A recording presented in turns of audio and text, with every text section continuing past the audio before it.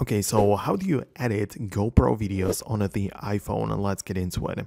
Well, the way that it kind of works is that at first we need to grab the videos and the media somehow from the GoPro and move it into the iPhone, right? So there are a few ways how you can do this.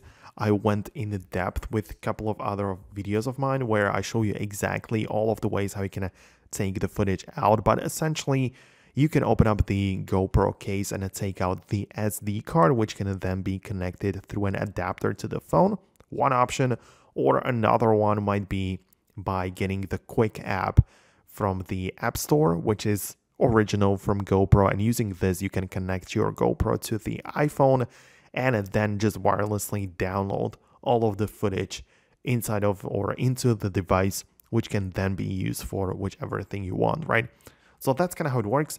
But even if you have the footage downloaded inside of the Quik app from GoPro, you can still not perform much edits as you need to then export that footage into the gallery, right, of your phone. So once you have it downloaded to your Quik app, you can then click on the export button and save it there to the gallery. And once you do have it in your iPhone gallery, you can perform a bunch of different edits. Like you have the built-in tools to make the video shorter or longer or however you like it, right?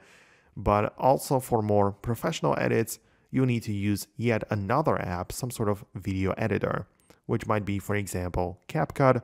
I like to use that a lot. Or for something a little bit more simple, you can get the iMovie where you can just, you know, align your footage on a time, uh, you know, timeline at the bottom and export it. So it's very simple, but that's essentially how you can edit GoPro videos on the iPhone.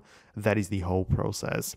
So that's it. If you have more questions or thoughts about it, go ahead and leave them below. But also go ahead and check out some other tutorials on this channel regarding this topic as you probably might be interested in that too. Anyways, thanks a lot, subscribe, and I'll see you in the next videos.